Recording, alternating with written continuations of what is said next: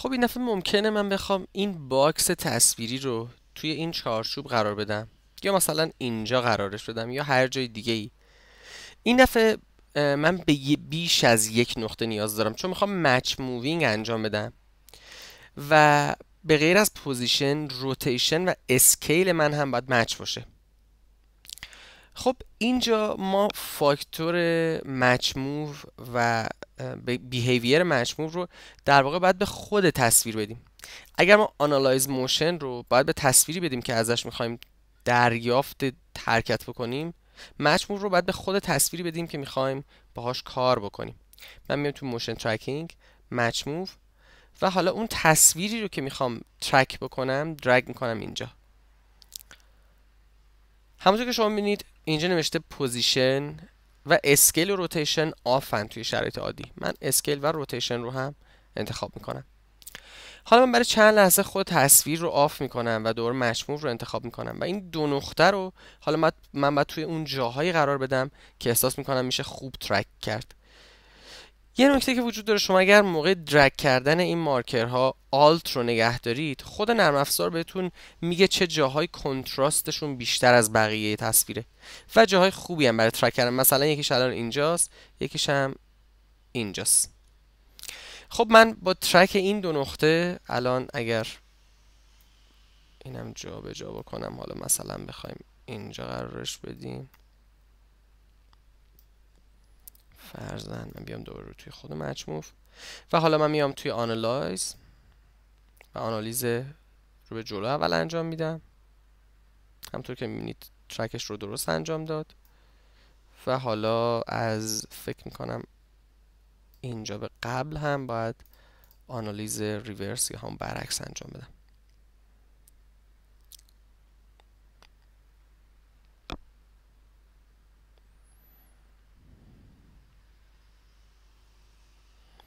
خب همونطور که خاطرتون هست من اگر یادتون باشه گفتم یک بار این مارکر رو انتخاب بکنید و ببینید توی اینجا به اون قسمتی که شما می‌خواستید ترک کنید درست چسبیده یا نه حرکت می‌کنه یا نمی‌کنه. این مارکر پایینی خوبه.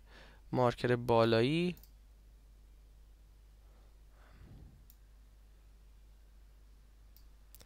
من الان اگر بتونم انتخابش بکنم و اینجا ببینیم. اگر فکر کنم یه بار باید ریفرش بکنم تصویر رو. خب حالا توی درس بعدی می‌رسیم به اون نکته هم.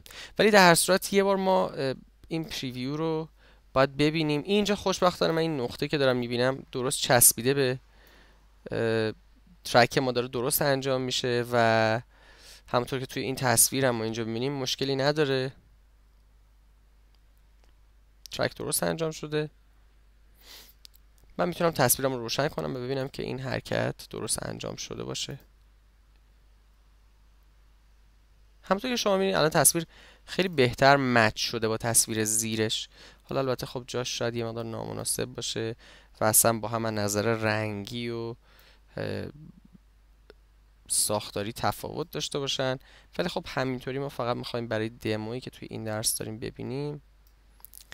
مشخصه که الان که ما سه تا فاکتور رو track کردیم یعنی هم scale هم rotation و هم position خیلی بهتر این تصویر اونجا میشینه تا دفعه قبل. اگه یه بار الان ما تصویر رو با هم ببینیم.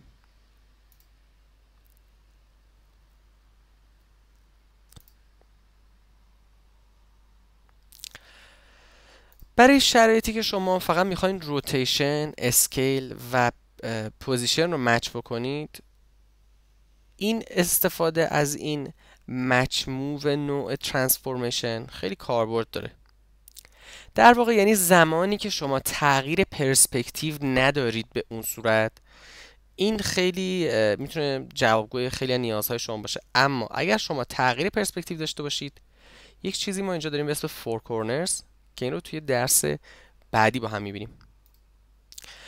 قبل از اینکه بخوایم سراغ مبحث بعدی که همون four corner tracking بریم یه نکته رو من خدمتتون بگم که توی tracking اگر شما می‌خواین position و scale و rotation یه تصویری خوب match بشه با تصویر زیریش و track شما درست انجام شه بهتر اونها رو از یه چیزی انتخاب بکنید که با هم روی یه سطحن. یعنی از نظر پرسپکتیوی یک سطح دارن. به طور مثال اگه شما یه نقطه رو اینجا انتخاب بکنید و یه نقطه رو اینجا انتخاب بکنید احتمالا تصویرتون درست مچ نمیشه. به دلیل اینکه اگه ما اینجا نگاه بکنیم این الان یه برشه از یه سطح. اگه پرسپکتیوی بخوایم به قضیه نگاه بکنیم. و این الان توی یه سطح دیگه است.